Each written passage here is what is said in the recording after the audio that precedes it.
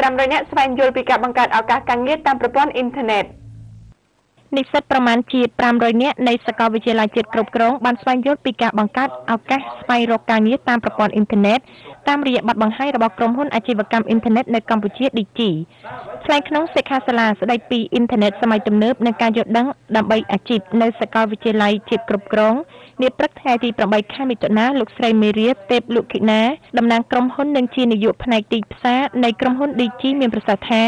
សិក្ខាសាលានេះមានគោលបំណងបង្កើនការយល់ដឹងផ្នែកបច្ចេកវិទ្យាព័ត៌មាន IT ក៏ដូចជាជួយឲ្យនិស្សិតវ័យក្មេងយល់ដឹងថាទីផ្សារនៅក្នុងប្រទេសកម្ពុជាគឺពោពេញទៅដោយឱកាសហើយតាមរយៈប្រព័ន្ធអ៊ីនធឺណិតនិស្សិតទាំងឡាយនឹងអាចស្វែងរកឱកាសនោះបានកាន់តែឆាប់រហ័ស លោកស្រីបានបន្តថាសារៈសំខាន់ចំពោះនិស្សិតគឺអ្នកចូលរួមនីមួយៗនឹងមានឱកាសពិតប្រាកដមួយក្នុងការបង្ហាញអំពីគោលគំនិតរបស់ខ្លួនព្រមទាំងយល់ដឹងអំពីសមត្ថភាពខ្លួនឯងហើយប្រហែលនាពេលអនាគតពួកគាត់នឹងអាចបង្កើតមុខរបររបស់ខ្លួននៅក្នុងវិស័យគ្រូគមនាគមន៍បានទៀតផង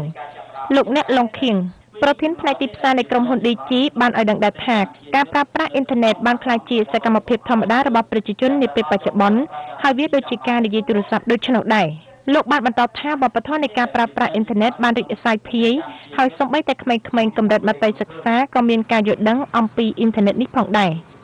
នៅក្នុងថ្ងៃនេះសិក្ខាសាលារបស់យើងគឺយើងចាប់យកគំនិតមួយថ្មី ដែលឲ្យសិស្សនិស្សិតព្យាយាមគិតថាតើការប្រើប្រាស់អ៊ីនធឺណិតធ្វើយ៉ាងណាដើម្បីបង្កើតជាការងារឬក៏ជាអាជីវកម្មដោយខ្លួនឯងជាជាងគាត់ចាប់ផ្ដើមរៀនចប់ហើយគាត់ស្វែងរកការងារធ្វើ និស្សិតធីឈិនហួរបានឲ្យដឹងថាការប្រើប្រាស់អ៊ីនធឺណិតគឺមានសារៈសំខាន់ណាស់នាពេលបច្ចុប្បន្នមិនថាក្នុងការធ្វើពាណិជ្ជកម្មឬការសិក្សានោះទេជាពិសេសអ៊ីនធឺណិតបានជួយដល់ការស្រាវជ្រាវនិងស្វែងរកឯកសារផ្សេងៗបានយ៉ាងងាយស្រួលនិងឆាប់រហ័សទៀតផងខ្ញុំយល់ថាការប្រើប្រាស់អ៊ីនធឺណិតបច្ចុប្បន្នមានសារៈសំខាន់ចំពោះសិស្សនិស្សិតពីព្រោះវាងាយស្រួលចំពោះការស្រាវជ្រាវសិក្សាហើយយល់ដឹងពីអ្វីដែលយើងត្រូវការយើងអាចទៅថែក្នុងអ៊ីនធឺណិតបាន